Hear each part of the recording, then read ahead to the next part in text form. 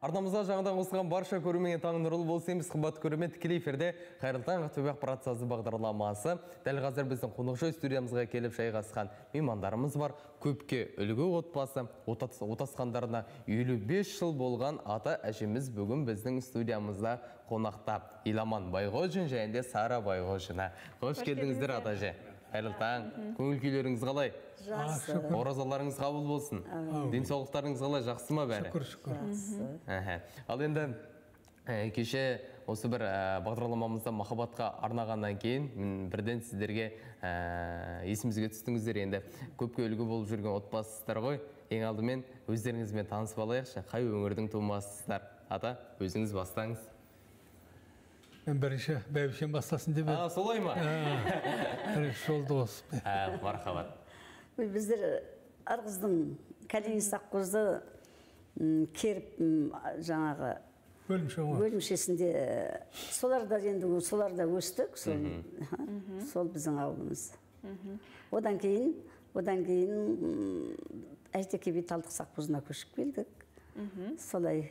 Өміріміз жалғасып өмір сүріп жатқан атам мен әжеміз. Одан кейін ақтөбеге көшіп келдік.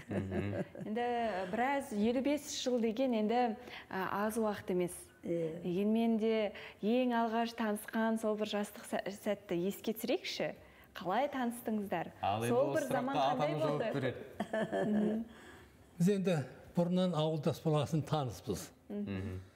Сол алпыс сегізінші жылда сара мен оныншы класс бітіріп оқуға барып оқуға енді түсе алмай қалды ауылға келді жаспыз ғой сол кезде қыдырып қайта қайта вечер ұйымдастырып мейрамдарда қыдырып. Жүрген. сол бұрыннан таныстығымыз бар семьямыздың сыйластығы бар.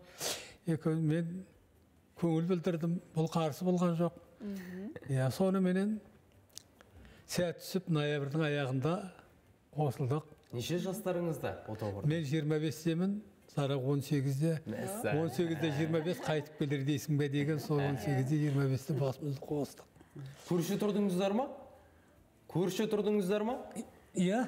Көршіде тұрған кездеріміз көрші болды бір шағын ауыл ғой енді көрші сосын деген енді жазда жайлауда көрші жүрміз сондай. Шағ- шағын ауылдың жастары мәмет ол кезде жасымен жас вечер олай болмайды. Кім бойдақ сол вечерге келеді. Иә мына кісілер мына кісілер сол вечерді ұйымдастырып жүрген адамдар кім қай қай адам бойдақ сол сол вечерде ал болады апа енді осы бір ауылдың. керемет той думан туралы е, бастадыңыз ғой толығырақ айтып беріңізші қалай өтетін еді сіздердің кезіңіздегі кештер біздің кезімізде өте керемет еді ғой енді Ә. ол өзімізге тіптен оны ана ә, өткенді ойласаң біздің кезіміз енді әр, әр заманның өзінің кереметі болады ғой. Біздің кезімізде өзіміздікі керемет сияқты болып елестейді. Біздер сол жастар кезімізде әуелі ә, жаңағы ол кезде де концерт қоямыз ауылдың жастары. Соны мына кісі әнші ә, мен де өлең айтам соны жаңағы дайындыққа келеміз енді мен балалау қызбын бұл кісі жігіт. Иә соны жаңағы өлең айтамыз ауылда жастар болып концерт қоямыз пес қойып песті ойнаймыз. Сонда бір рет жетінші ноябрьде пес қойғанымызда мына кісі милиция ма құтқарушы болып жаңа мені біреу алып кетейін деп жатқан жерінен бұл кісі мені құтқарып алып сөйтіп жаңағы ол кезінде өзінің қызығы өзінде ғой. Солай енді песті ойнап сөйтіп жүрдік. Енді бұл арамыз шамалы алшақтау болғасын көрші бұрында көршіде тұрдық. Аға деймін жаңағы елман аға деп. Иә.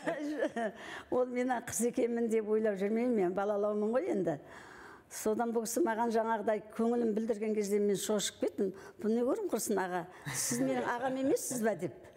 Соныменен ол ана жаңағы өзі құдай қосайын десе айналдырып үйретіп әкеліп құдай қосады екен ғой. Мен ол он жерден жаңағыдай қашқақтап сіз менің ағамсыз дегенмен алла бізді қосып тұр екен. Содан екеуміз ә, қосылдық. Махаббат жасқа қарамайды деген осы ата әжелерімізден көрсек болады иә әріптес. Керемет. Иә. Е, шынымен де енді өте бір сол бір заман ең бір қызықты замандардың бірі ғой. Енді ә, қазіргі уақытта ә, сарапа ең алғаш келін болып түскен сәтіңізді сипаттап беріңізші қалай болды иә ең алғаш келін болып түскен кезімде енді мен жаспын ғой көп бірдеңелерді білем ананың бәрін үйреніп бардым деп мен айта алмаймын. Бірақ мен кішкентайымнан өзім пысықтау болдым жаңа қолымнан іс тігу ә, шебер болдым. Кішкентай күнімнен. Сосын енді өзімнің енем болды диламаның шешесі. Үйде ә, абысынымменен қа- қайнағам абысыным болды. Енді маған келген бойдан сен осының бәрін істеп тастады таста осының бәрін сөйт деген адам болған жоқ. Ә, бәрі де мені өзімше жас қой әлі кішкентай ғой деп мені өздерінше әлпештеді бәрі. Екі бастан өзіміз бірімізбен біріміз ә, жаспыз ол кезде де М, ағам жаңағы өзінің баласын әлпештегендей апам әжем өзінің еламанның шешесі біздер өте сондай әлпешке ие болдық. Келіншек болып түскен кезімде. Содан бірақ әйтеуір өзім жаңағы немін сүйегім пысықтау өзім жаңағы шамалы сұңғылалау болдым шебер болдым сол оттың басына. Ағамның қайнағамның жаңағы кішкентай кішкентай балдары бар екен сол кезде. Сол оттың басына тастай батып судай сіңіп кеттік қой енді. Сол үйдің баласы ұқсап әуелі келіншек болып түскен кездерде. Әйтеуір бірдеңені адамның өзінің пейілі болса адамның қолынан келмейтін жоқ қой. Ештеңені білмеймін деген жоқпын. Бәрін де білемін дедім. Қиын кездер болды енді. Ол ол кезде ошақ қой. Ошаққа барған кезде бірдеңе ана от жағайын деп бірдеңе қылып жатқан кезімде маңдайына ана ошақтың қолымды басып аламын бірдеңеге бірдеңе қылып аламын енді оны бұрын мен істеп көрмеген шаруаларым ғой. Соларды істеймін деп былай қиыншылықтар болды ғой енді. Бірақ адам енді ә, жолға түскеннен кейін сол қиыншылықты жеңу керек қой енді. Иә дұрыс айтасыз еламан атам ә, осы тұста енді қазіргі уақытта көптік көптеген отбасыларға үлгісіздер. Ә, енді бір сұрақ қойғым келіп отыр. Қазіргі уақытта енді отбасындағы ә, кикілжің ыдыс аяқ сылдырламай тұрмайды деп айтып жатамыз ғой. Сіздердің замандарыңызда сіздердің жастық шақтарыңызда сондай бір мәселені қалай шешетін едіңіздер? Әлгі қарақатпенен қадыралыдан осындай сұраған екен ыдыс аяқ сылдырламай біздің үйдің ыдыстары бәрі пластмасс депті соғыста бізде де енді семья болғасын шамалы кикілжің болды бірақ көбінесе жаңағы өзі айтқандай әлпештедік осының айтқанын жасадық. Иә. Иә құдайға шүкір жаман болған жоқпыз онан. Иә балдарымызды өсірдік бәрі үйлі баранды қазір. Осы қалада ауылда тұрып жатырмыз. Сондай жақсы адамды қалай әлпештемейсің енді? Барлығы айтқанын істейміз. Бұл да сосын біздің айтқанымыз сыйға сый сыраға бал деген қазақтың сөзімен сыйласып сол иә елу бес жыл мінекей бірге өмір сүріп жатырмыз. Қазір қанша балаларыңыз бар? Немерелеріңіз? Иә енді қазақ баланың санын айтпайды дегенменен бес алты ұл қызымыз бар. Иә бәрі де қазір үйлі баранды. Он он бестей немереміз бар. О керемет. Бәрі де осы қалада ауылдағы баланың баласы біздің қолымызда. Ә, қалған балдарымыз осы қалада бірге тұрады өзі айналамызда балдарымыз күнде шүпірлеп ә, келіп ойнап біздің үйге келіп. Туған күндерімізде құттықтап өздерінің туған күнін атап өтіп жақсы құдайға шүкір. Мен өзім өміріме ырзамын. Барлық жағдайда жағдайымыз болып жатыр енді жақсы. Ал енді манадан осы бір сұхбат басталғалы атамыз бен әжемізге көз қызығып қарап отырмын. Енді ә, екі жанның бір біріне деген махаббат көпке үлгісіздер ғой. Енді жастардың қазіргі енді ерте отау құрып жатқан жастар бар соларға сіздер үлгі болады деп ойлаймыз. Ал енді сарапа өзіңіз тоқталып өтіңізші. Ә, немере шөберелеріңізге немен айналысады? Дәл қазір сіздерді қарап отырған болар. Немере шөберелеріміздің бәрі өнерлі. Әуелі жаңағы үлкен немере қызым болды. Ол кішкентайынан кішкентайынан биші болды. Соны жаңағы айгөлек би би мектебі бар ғой айгөлек би мектебі. Соған би соған биге қатысты күйттей күннен оның бармаған қаласы жоқ. Ол германия ә, москва шетел бәріне барды ол әсем әсем деген немерем. Әлі де биші қазір өнер орталығында биші ансамблінде. аққу ансамблінде болып оны оқып жүргенде тендерден жеңіп алып сол мүше болып кетті. Он оқып жүргенде он бір оқып жүргенде кейін жұбановқа түсіп төртінші сонда оқыды әлі сол біздің аққудың несінде Иә. содан кейін тағы да музыкальный мектепте жаңағы осы ненің музыкальный үшінші мектепте екі екі қызым әнші оқып жатыр бір қызым қобызшы бір ұлым домбырашы сояқта домбыра үйреніп жатыр бір қыздар қызым биші. Бәрі өнерге иә, жақын бәрі өнерге жақын. Ал енді ол жандардың немере шөберелеріңіздің ұл қыздарыңыздың биіктен көрінуі өнерге жақын болуы әрине сіздердің арқаларыңыз. Ал оны алып келгенде оның барлығы тәрбиеге тікелей байланысты. Отбасындағы тәрбие туралы айта өтейікші. Иә отбасындағы тәрбие отбасында біріне бірі сыйластық болса кешірімді болса ауыздары бір болса отбасы сол енді негізі ауызбіршілікте тұрады ғой оттың басы. Бірін бірі кешіруде ә, шыдауда адам қажырлы қайратты болу керек шыдамды болу керек отбасына. Қазақта Иә. алдыңғы арба қайда жүрсе соңғы арба сонан жүреді деген сөз бар. Өзіміздің отымыздың басында біз екеуміз тату болғасын балдарымыз бен келіндеріміз тату. Енді олардан өсіп өнген ұрпақтар олардай жаман болмас деп ойлаймын тәртіпті сыйлы енді жақсы.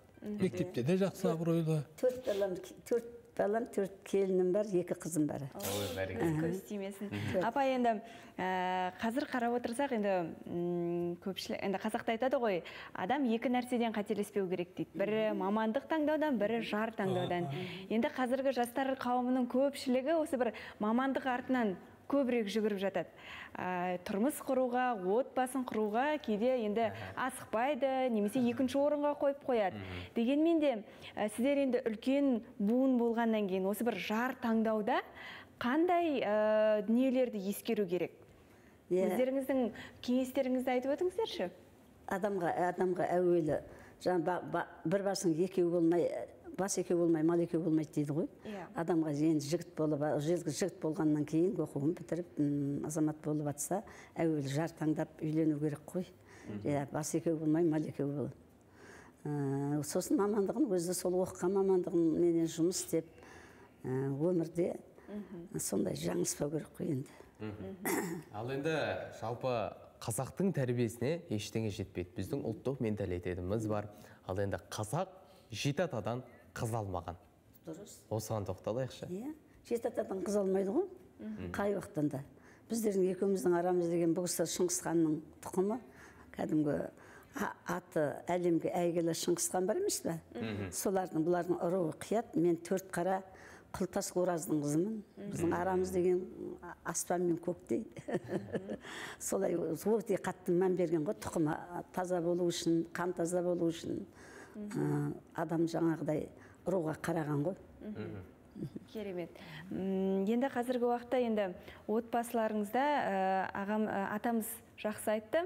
Ә, алдыңғы арба қалай жүрсе соңғы арба солай жүреді деп. Дегенмен де отбасында ә, өздеріңіз енді үнемі келіндеріңізге балаларыңызға қандай ақыл кеңестер айтып отырасыздар? Ең бірінші татулық қой. Татулық бірлік ауызбіршілік.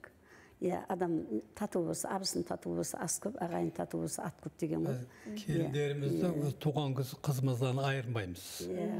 Өзіміздің айналып тұрған артық көріп кетеміз кейде қыздарымыздан. Қыздарымыз бөтен үйдің адамы ғой енді. Біз оны асырап бағып бердік қой бөтен адамға. Келін өзіміздің ұрпағымызды көбейтушіміз қолымызды жылы суға малушымыз. Барлық жаңағы біздердің енді туу жаңағы осы өмірде ұрпағымызды көбейтіп біздің бүкіл жаңағы ә, шаруамызды бүкіл біздің ә, тіршілігімізді соның бәрінің иесі ғой енді бала мен келін деген иә балдар келіндерімізді адал үстемген балалар біз не айтсақ сол біздің айтқанымыз болады